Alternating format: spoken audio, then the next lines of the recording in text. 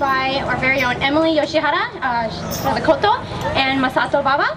Um, in this piece, it actually features the koto, which is the stringed instruments you see on the right side of the stage.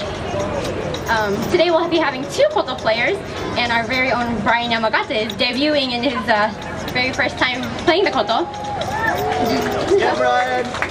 And for this piece, we went a little bit of a different route. Instead of having our taiko drums as the main feature piece, we're using it more as a background piece. Um, so you'll see, you'll hear some very nice sounds.